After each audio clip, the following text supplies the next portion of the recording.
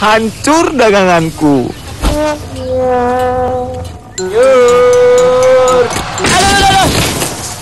Ludes modalku.